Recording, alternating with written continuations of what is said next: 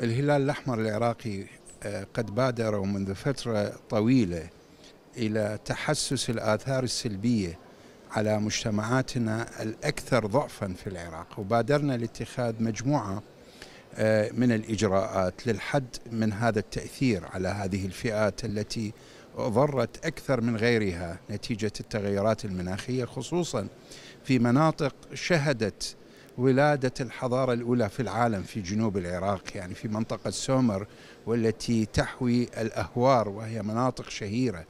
هذه المناطق تأثرت نتيجة الجفاف نتيجة التغيرات المناخية وكذلك نتيجة الجفاف الناتج عن السدود التي أقيمت على منابع نهر الفرات ونهر دجلة في المناطق التي تقع خارج حدود العراق.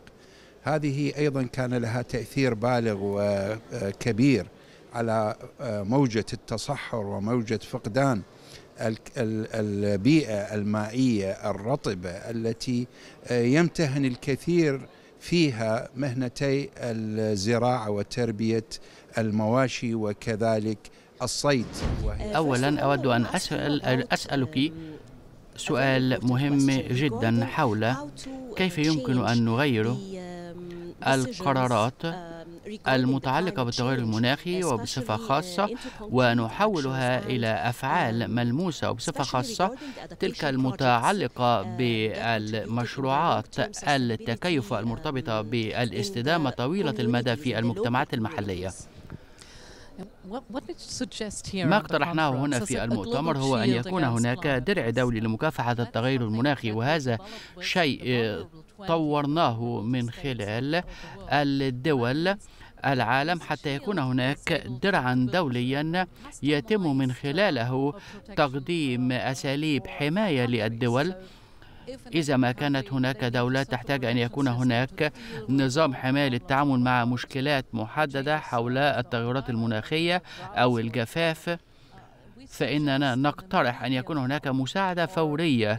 إذا ما كان هناك فلاح متأثرا بالجفاف ويحتاج أموال فإن هذا الدرع الدولي يستطيع أن يقدم له الدعم المالي المطلوب بشكل سريع. ما نحتاج أن يكون هناك فعل سريع الآن وليس في المستقبل. ولهذا فقد أطلقنا هذه هذا الدرع الدولي لمكافحة التغير المناخي كما تعلمون فإن السنغال مهتمة جدا بمشكلة المياه على المستويين المحلي والمستوى العالمي. تتذكرون أن الرئيس السنغالي ماكيسال كان من أوائل الذين ناقشوا موضوع المياه والسلام والأمن وذلك في مجلس الأمن بالأمم المتحدة. والسنغال استقبلت في مارس 22 المؤتمر التاسع للمياه. كما أن السنغال تشارك هذا الاهتمام بالمياه مع مصر ولذلك فإن السنغال كانت حاضرة في الثلاث اجتماعات الأخيرة لأسبوع المياه بالقاهرة. ولهذا أيضا فإن السنغال تشترك اليوم في مصر في مؤتمر 27 وتطرح مشكلة المياه مع بالمشاركة مع مشكلة المناخ لأننا لدينا أزمة مياه وأيضا أزمة مناخ. ولذا فإن الاهتمام بهاتان الأزمتان تجعلنا نعيش في عالم مزدهر وأكثر تضامنا. كنا نتحدث عن أحد أهم الموضوعات والملفات وهي المياه في الدول الأفريقية وفي العالم بشكل عام. كيف تعتقدي أن يمكن أن نوفر المياه؟ أعتقد هذا سؤال كبير. والإجابة أنه فيما يتعلق بتنمية الطاقة فإنه من المهم أن تعمل الدول مع بعضها البعض. حتى نستطيع بما أننا نعمل في مشروعات التخفيف فإننا يجب أن نتأكد أن المياه يتم التعامل معها بشكل آمن وعادل للجميع. وكيف تعتقدين أن هذا يمكن تطبيقه على الأرض؟ هناك الكثير من الخطط. هل يمكن التطبيق؟ نعم يمكن. هذا شيء نقوم به في الولايات المتحدة. أنا من نيويورك ونحن نعمل مع شركات طاقة ونحاول أن نؤكد أن حقوق السكان الأصليين مضمونة وهذا وأن يكون كل أصحاب المصلحة منخرطين ولهم الأولوية. أولا أود أن أسألك حول كيف يمكن لكل القرارات المتعلقة بالتغير المناخي؟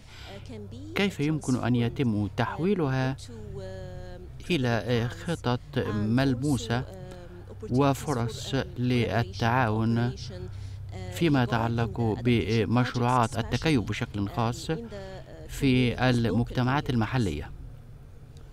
شكرا جزيلا على استضافتي وعلى هذا السؤال. نعم. هناك الكثير من الالتزامات والكثير من المناقشات تم عقدها وبالتالي نحن نحتاج أن نتقدم للأمام. نحن نتحدث عن ترجمة كل هذا إلى أفعال. الأمر الهام بالنسبة لي هو حول إدماج المجتمعات أنفسها لأنه بدون مشاركة المجتمعات فإن الكثير من هذه الخطط سوف تظل على الورق. هناك أشخاص يشعرون بتأثيرات التغير المناخي بشكل كبير ويريدون أن يكون في مركز هذه النقاشات. يحتاجون أن يكون مشتركين في التخطيط. هناك الكثير التي الذي يمكن أن تقوم بها المجتمعات. نحن نحتاج دعم في بناء القدرات وأيضا نحتاج دعم في مجال التمويل. وكذلك نحتاج للدعم حين تتحد جميع المجتمعات. و وهناك مجتمعات متأثرة بشكل كبير. واذا المجتمعات يجب أن تكون في مركز الخطط التي نتناولها.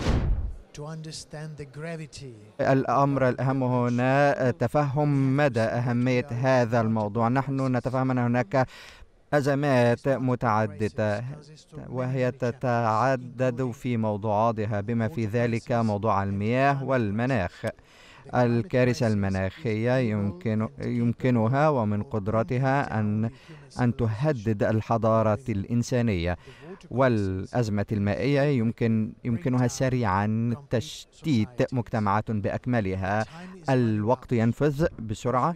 نحن في مسار من الأزمات المناخية التي يمكن أن تؤثر التي يمكن أن تصل بدرجة حرارة الكوكب إلى أكثر من 2.5 درجة مئوية فلذلك هناك أهداف والتزامات نتخذها على عاتقنا خلال الأعوام الخمسة الماضية؟ لابد كان من تنفيذها. لا يمكنها كن تنفيذها حاليا كما هو واجب وذلك بدون الحصول على التمويل الجيد والحد من غازات الاحتباس الحراري وكذلك نوعية التعاون. هناك بعض الأمور مفقودة.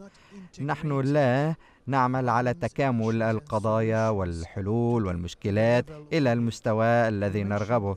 كما ذكرنا هناك الإجراءات من العديد التي تتخذ كيف يمكن تحقيق التعاون ما بين المشاركين وإجراءات وخطط عمل المناخ. نحن نعلم أن 80% من ازمات المناخ التي نشهدها بسبب المياه ولكن ليس لدينا أي سياسة شاملة متكاملة بشأن المياه.